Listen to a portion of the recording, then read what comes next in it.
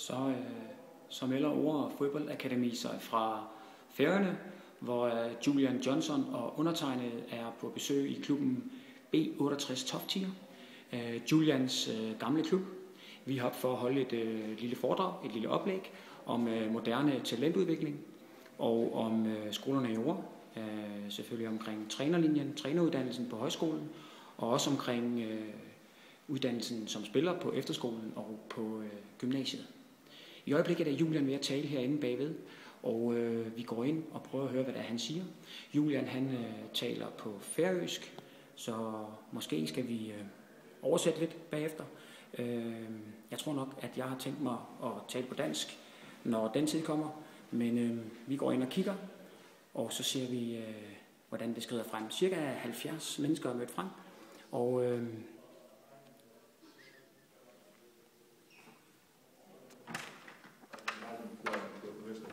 Når han tager, så var han hver gang lige i familien, og han snakker med en på. Det der står der,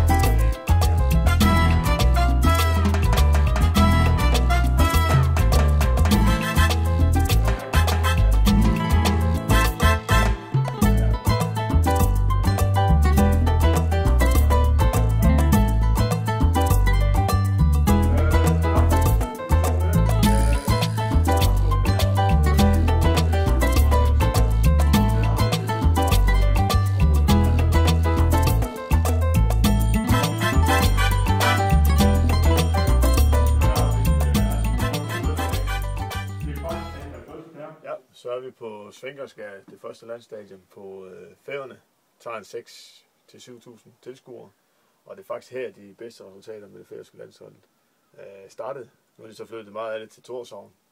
Men øh, der er mange af øh, de store lande, der har fået øh, fingrene i glemt, når de er kommet herind i gryden.